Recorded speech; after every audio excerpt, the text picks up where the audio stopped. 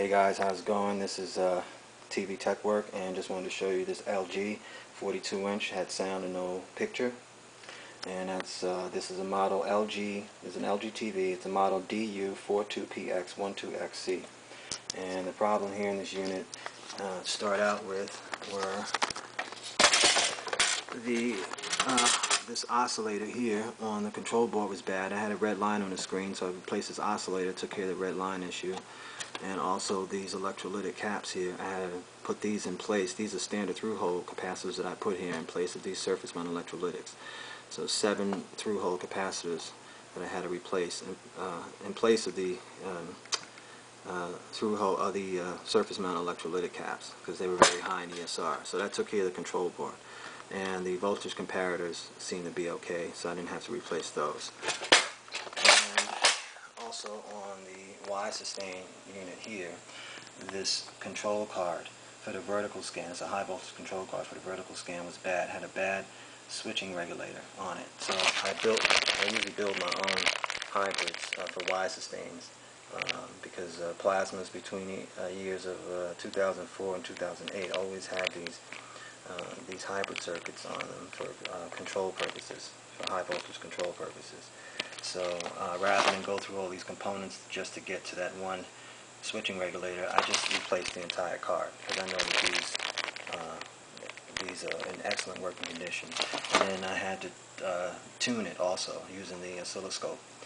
Um, and again on the power supply, this low ohm resistor here was open. Uh, this is a 10 ohms at uh, 5 watts. Had to replace that. These two electrolytics. Originally they were 1,000 microfarads at 200 volts, so I put in two 1200s at 200 volts. And this capacitor here, I'm going to change, just put a better, a, a better cap that fits, uh, so a smaller cap. This is a 1000 microfarads at 100 volts. Uh, put another one here, 3300 microfarads at 25 volts.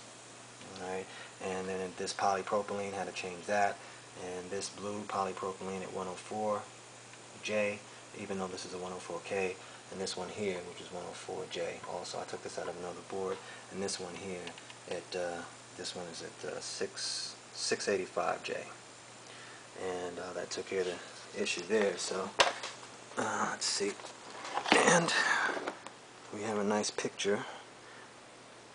Uh, let's put the camera down for a minute and get the. Uh, let's just get the menu going. So that shows me the downstream video is working. This TV is very heavy and I'm holding it up with one hand, so let me go ahead and put this down. So that's a done deal there. And uh, so yeah, just wanted to show you very quickly what it took to get this LG model number DU42PX12XC going. And that is the amount of electrolytics and the oscillator I had to replace here in the control board. So it's about eight parts on that control board I had to replace seven, seven electrolytics and one um, crystal oscillator. And on the Y sustain here, change this card, the um, uh, high voltage card for your vertical scan. I just changed the whole card because these are the ones I built. So that took care of that and replaced that fuse there and the X sustain was fine, didn't have any problems on the high voltage control card on the X sustain. Uh, even though I need to clean that up, it looks a little dusty. And uh, everything else checks okay. And the signal here, I have a nice 60 volts in my VS signal. And let's let's test now for the VS signal. I should have about 200 volts. So we got 205. So let's bring that down. Let's bring that voltage down a little bit. And we do that with this tuning pot here. See that tuning pot?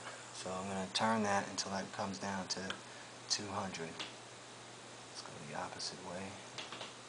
That's going up. Let's go the other way. Let's bring it down to 200.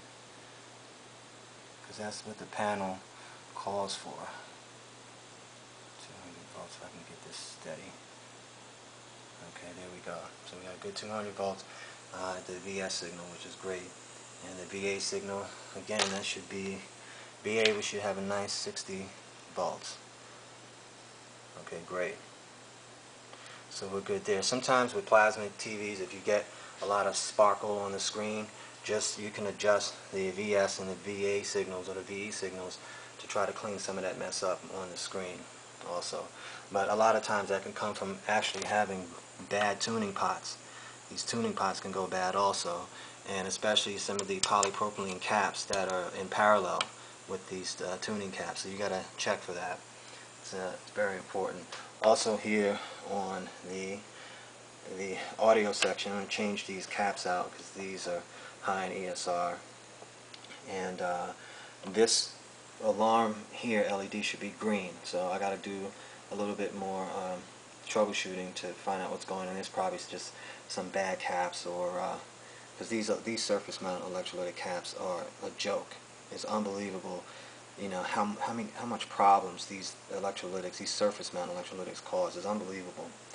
Uh, but uh, anyway we took care this. This TV is pretty much like 90% done. Uh, just got a couple more things to do and uh, before I send it out the door and give it back to the customer. So just wanted to share some of that knowledge with you. This is TV Tech Work. Um, if you have any questions uh, you can email me at circuitworld at comcast.net alright thank you